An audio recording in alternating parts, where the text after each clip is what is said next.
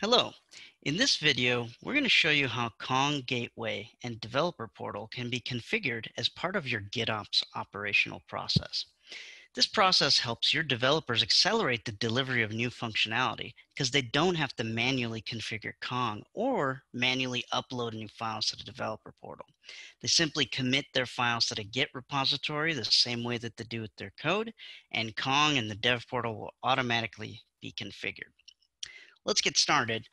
I'm going to show you, um, I'm going to start by showing you an existing Kong environment and a developer portal. Here's the API that I'm going to be changing, this Pizza Pie Order API. You'll notice it's on version 1.5, and if I go into the API, you'll notice that it allows me to fetch an order for a pizza.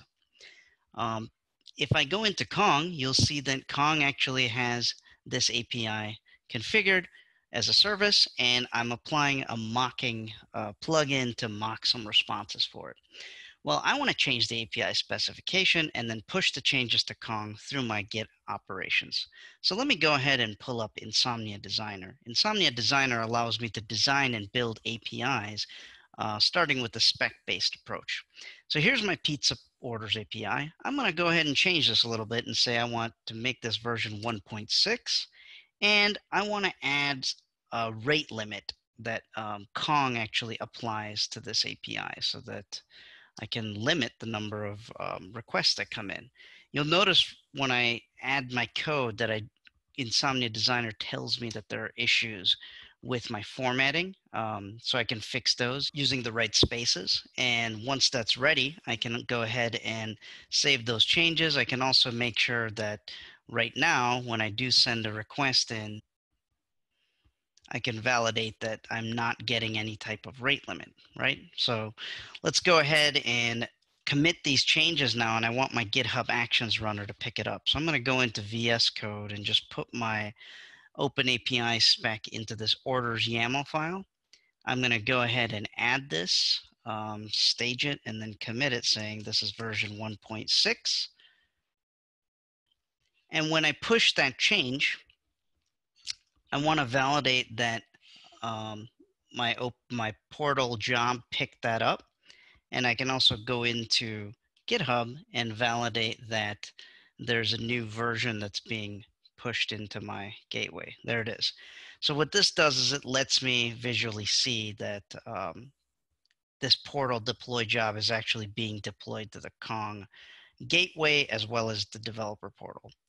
Once this is done, now I can actually go back to my Kong dashboard. And if I refresh it, you'll see that Kong is now actually applying a rate limiting plugin. So I don't have to do that in my code. And then if I go to my Pizza Pie API, you'll see that this version will actually update to 1.6. And uh, there it is. So if I refresh the screen, it updates. So that's it. Now, if I go back into my Insomnia Designer, um, and I go into debug mode, I can actually um, send requests to my Kong environment. And what I should see is I should get this response back that's being mocked by Kong, but I should also have a rate limit being applied. So let me go ahead and try that. If I send that request in, you'll see that here's the rate limiting headers being applied by Kong. And if I keep sending that request, there's that 429 that I'm looking for that tells me I sent way too many requests. So in summary, um, what this allowed me to do is make a change to my Kong plugin as well as my API documentation by modifying my Open API spec, and the changes were automatically pushed to my Kong gateway and developer portal. Now I can continue testing and improving my code without having to spend a bunch of time touching Kong in the developer portal. Uh, and this just allows me to deliver my services much faster. Thank you for joining.